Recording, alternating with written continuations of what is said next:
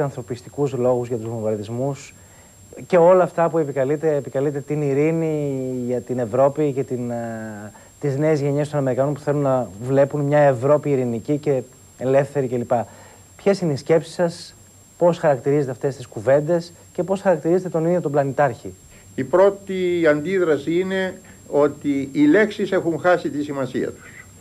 Μου θυμίζει ο κύριος Κλίντον ένα λόγο του Μεγάλου Βασιλείου αναφερομένου σε τέτοιες καταστάσεις εφήμις ρήμασιν την κακίαν περιστέλλοντες. Με ωραίες λέξεις δίνουμε την κακία. Αυτό ακριβώς γίνεται και εδώ.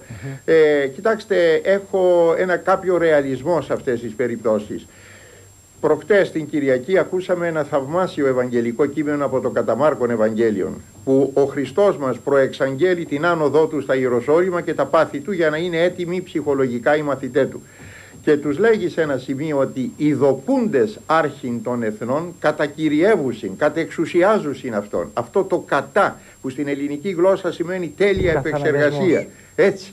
Είναι ό,τι χειρότερο μπορεί να υπάρξει. Εξουσία η οποία επιβάλλεται με τη βία. Αυτό λοιπόν γίνεται τώρα και από τον κύριο Κλίντον. Αλλά λέει οι δοκούντες άρχιν των εθνών. Αυτοί που νομίζονται ότι εξουσιάζουν. Αυτή είναι η τραγικότητα του Κλίντον. Δεν εξουσιάζει ο Κλίντον, αλλά αυτοί που βρίσκονται πίσω από τον Κλίντον. Τα οικονομικά συμφέροντα λέτε λοιπόν με... Οι αδελφές πετρελαίου, όλες αυτές οι μεγάλες εταιρείες, η, η, α, η Λέσκι Μπίλντερμπεργκ, η οποία ρυθμίζει την πορεία του κόσμου, οι τριμερείς και ούτω καθεξής. Είναι ο εκτελεστής λοιπόν. Ο Κλίντον είναι θλιβερός εκτελεστής.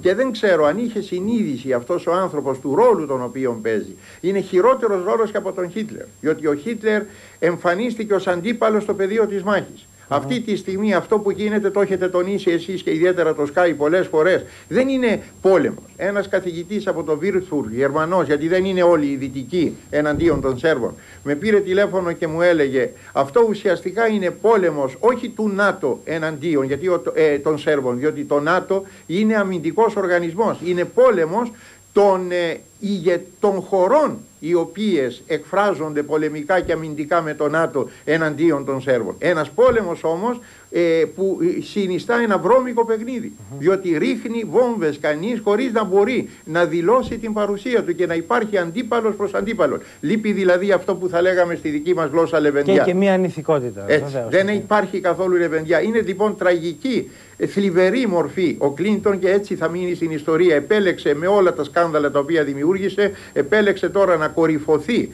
η ανεσκυντία, ο Θεός να με συγχωρήσει που μιλώ έτσι, αυτού του ανθρώπου με αυτή την επίθεση διότι ουσιαστικά το ΝΑΤΟ, οι δυνάμεις του ΝΑΤΟ κατευθύνονται από τις Ηνωμένες Πολιτείες. Αν θέλετε να σας δώσω ακόμη ένα νέο στοιχείο, ίσως το χρησιμοποιήσετε και αργότερα, άλλη μέρα δηλαδή, ε, ο Μπεν Γκουριόν το 1962 όλοι ξέρουμε ποιος υπήρξε ο Μπεν Γκουριόν και δεν έχω τίποτα, δεν στρέφομαι εναντίον του εβραϊκού λαού για να διευκρινίσω ναι, ναι. το πράγμα. Ο Μπεν Γκουριόν λοιπόν, ένας από τους μεγαλύτερους ιονιστές του αιώνα μας, στις 16 ε, Ιανουαρίου του 1962, στο περιοδικό Look των Ηνωμένων Πολιτειών περιγράφει πώς βλέπει το τέλος του 20ου αιώνα. Αυτά που γίνονται σήμερα περιγράφονται από τον Μπεν Γκουριόν. Ε, η αναδιάρθρωση παγκόσμια δηλαδή της παγκόσμιας κοινωνίας, η παγκοσμιοποίηση κλπ. Διότι ανήκε στους αρχιτέκτονες της νέας εποχής. Κατασκευάζεται ο κόσμος που έρχεται. Από τότε λοιπόν. Από τότε. Από τότε. Και, και, αργότερα ακόμη. Και, Κατασκευάζεται πριν. αυτός ο νέος κόσμος. Το New Age ε, έχω αναγκαστεί πολλές φορές να γράψω άρθρα όπως και άλλοι συναδελφοί μου. Ξέρετε δεν είμαστε προφήτες. Αλλά μέσα σε αυτή την νομοτελειακή πορεία περιγράψαμε κι εμείς τι θα έλθει και όλ... Ε, είναι θλιβερό στο τέλος του 20ου αιώνα, το έλεγε ο κύριος Ευαγγελάτος εχθές, να βρισκόμαστε σε αυτές τις εξελίξεις. Ο Χριστός μας είπε τους φτωχούς πάντοτε με θεαυτόν έχετε και φτωχός δεν είναι ο οικονομικά πάσκον, είναι αυτός που έχει πάντοτε ανάγκη. Αλλά ας επανέλθω. Είχε πει λοιπόν ότι θα καταργηθούν οι στρατοί του κόσμου και θα έχουμε μια παγκόσμια αστυνομία η οποία θα επιβάλλει την τάξη. Έκανα κάποτε αρχές της δεκαετίας στο Πολεμικό Μουσείο ενώπιον στρατηγών, αξιωματικών ανωτάτων βαθμίδων μια ομιλία σχετικά για τη νέα εποχή.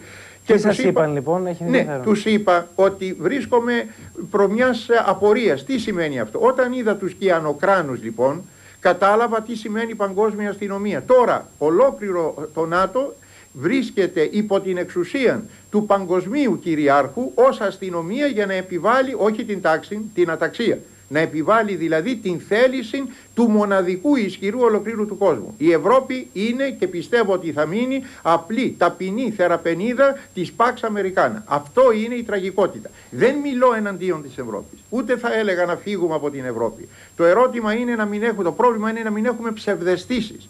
Δεν θα μας δοθεί λύση των προβλημάτων μας. Οι μεγάλοι σε κάθε εποχή δεν λύνουν τα προβλήματα των μικρών, αλλά χρησιμοποιούν τους μικρούς για να λύσουν τα δικά τους προβλήματα. Αυτό γίνεται και σήμερα.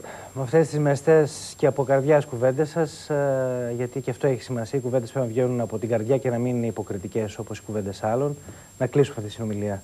Σας ευχαριστούμε πολύ. Και εγώ σας ευχαριστώ και ο Θεός να βοηθήσει ώστε να διαψευστούμε όλοι και γρήγορα να επέλθει η ειρήνη. Μακάρι.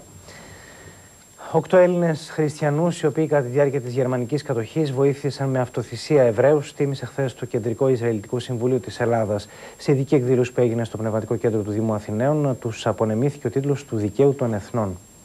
Εκείνους τους Έλληνες που έσωσαν Εβραίους κατά το Δεύτερο Παγκόσμιο Πόλεμο, διακινδυνεύοντας την ίδια τους τη ζωή, τίμησε σε ειδική τελετή στο Πνευματικό Κέντρο του Δήμου Αθηναίων το Ίδρυμα Διατήρησης και Διαιώνισης της Μνήμης Ηρών και Μαρτύρων του Ολοκαυτώματος, απονέμοντάς τους τον τίτλο του Δικαίου των Εθνών.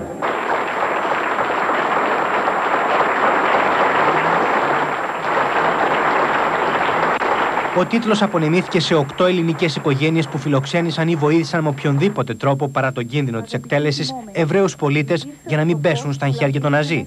Κανένα από τα τιμόμενα πρόσωπα δεν βρίσκονταν εκεί αφού δεν υπάρχουν πια στη ζωή. Τις διακρίσεις, ωστόσο, παρέλαβαν τα παιδιά τους ή ακόμα και τα εγγόνια τους. Με κίνδυνο τη ζωή της η γιαγιά μου, γιατί για να είμαι ειλικρινής, εγώ δεν ξέρω αν σήμερα θα έβαζε σε κίνδυνο τα παιδιά μου αν ήμουν χείρα όπως ήταν η γιαγιά μου για να σώσω ανθρώπους.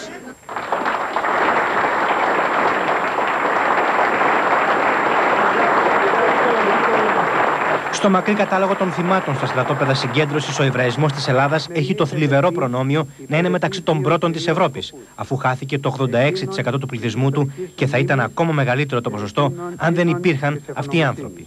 Τους είχε κάνει στο δάσος μέσα, τους είχε φτιάξει μια καλύβα και τους είχαν εκεί 10-12 μέρες. Τους πήγαινε ψωμί η μάνα μου και στους δρόμους περνούσαν Γερμανοί. Δεν φοβόταν τίποτα. Η σημερινή τελετή αποδεικνύει ότι παρόλο ότι έχουν περάσει 50 και πλέον χρόνια από τότε η ευγνωμοσύνη των Εβραίων της Ελλάδος εξακολουθεί να αναζητά τους σωτήρες μας για να τους αναγνωρίσει και να τους επιβραβεύσει. Είναι τα δίνα ενός άλλου πολέμου. Περνάμε σε λίγες διαφημίσεις και επιστρέφουμε.